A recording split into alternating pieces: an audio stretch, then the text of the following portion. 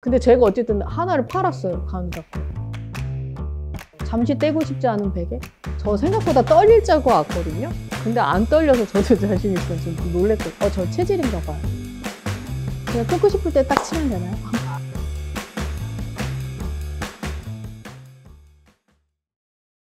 제가 사실 첫 꿈에는 음, 제가 허리랑 목에 대한 그러니까 불편감이 있어서 이제 경추백에 대해서 이제 인터넷이나 이런 채널을 통해서 검색을 하게 됐고 아마 제가 첫 꿈에는 홈쇼핑을 통해서 했던 것 같아요.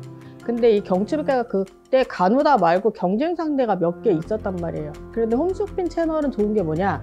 샀다가 체험을 해보고 반품을 할 수 있잖아요. 그래서 제가 간호다 말고 다른 제품을 동시에 구매를 해서 일주일 뭐 며칠 체험을 하고 결정한 게 간호다였어요.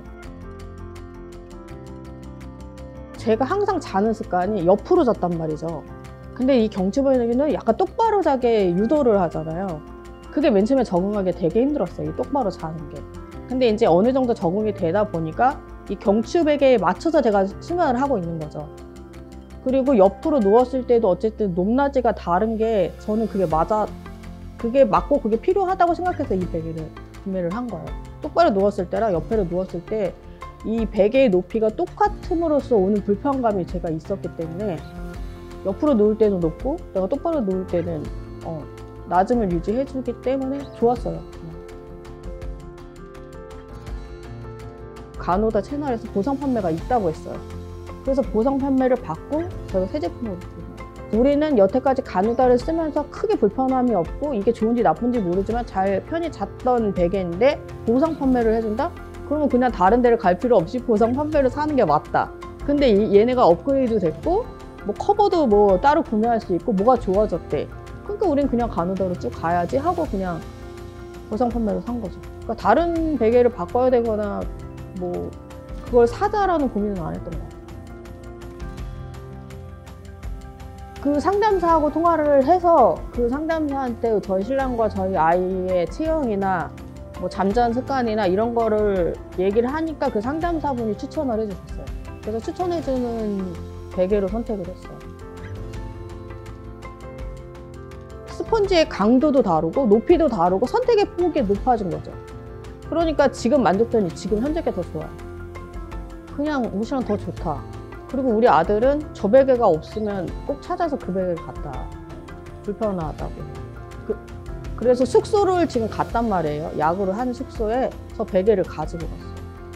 합숙소에도 가져갔어요. 가져갔고 이제 거기에서 자다가 우리 집에 와서 이제 잘 때 저 베개가 아닌 다른 베개를 베야 되잖아요. 그러면 아빠 걸 갖다 베는 거예요. 그럼 아빠가 하루는 희생을 해야 돼요. 그 베개를 양보를 해줘야 돼요. 그 신랑이 갑자기 교통사고를 당했어요. 그래서 뒤에서 차량이 박아가지고 놀라면서 그냥 근육의 단순한 경기나 염자 정도라고 생각했는데 팔이 저리고 아프기 시작한 거예요. 그래서 병원을 갔더니 디스크 파열이 됐다. 그래서 그분이 수술은 하진 않았는데 그분도 아, 베개를 배, 바꿔야 되겠다라고 얘기했고 제가 또 열변을 막 토해서 경추 베개가 종류가 되게 많은데 너도 똑같이 홈쇼핑을 통해서 몇 개를 구매를 해봐라. 그래서 그 경추백을 간호다 말고 몇 개 몇 개를 제가 추천을 해줬어요. 그래서 선택은 너가 하는 거니까 몇 개 채널을 해서 그거를 해서 맞는 거를 구매를 해라. 그런데 그 친구네도 사, 결정을 했어요. 그래서 언니 말대로 써보니까 좋대요. 저희 신랑이. 예, 2박 3일이나 3박 4일에 만약 장기 투숙을 해야 되는 상황이다. 그럼 4개 다 들고 가요.